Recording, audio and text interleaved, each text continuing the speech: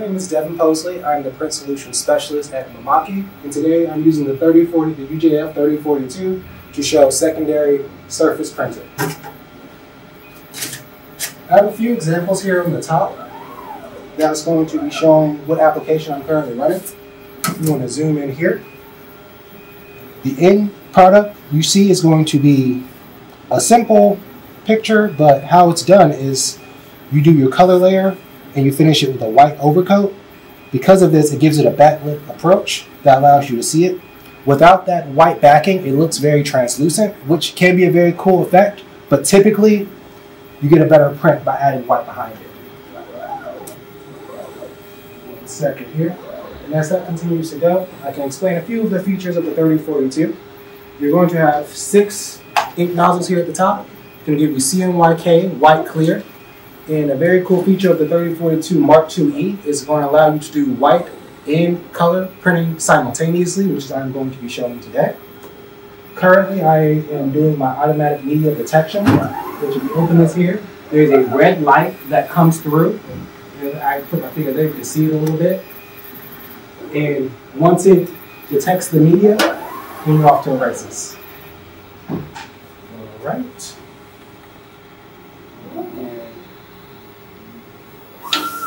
There we go.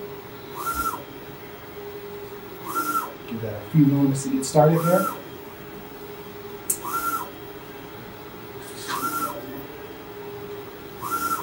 And this is a very simple application.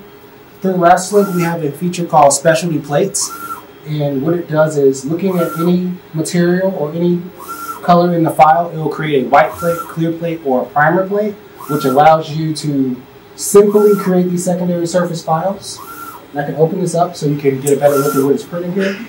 If you can notice, you're going to see it start with color, and then it's going to be following up with white, making it look like there's a lead of the color first, but typically it gets about four, maybe five inches a little further before the white will start, and then it continues going through.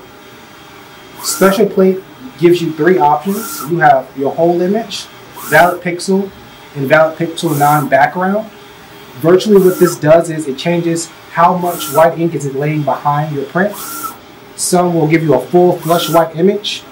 Some will only have whether it's ink or text, and then some will just cover text. What I'm doing today is going to be a valid pixel non-background, which is going to allow for you to see through the translucent material. An example of that would be this here. If you can see where the acrylite is, you can see that there's nothing there. So this is a very cool application that's very popular for us as well. We'll give this a few more moments to finish up there. And I'm currently printing at a 6x6 speed, which is going to be a production speed typically, but because of the quality, I have no problem with it. Just going to finish up its last few passes there. There we go. And now that it's finished, I'm going to bring it back into local mode, which is going to bring the bed back out to me. It would help if I remove the sticker. And there's your print.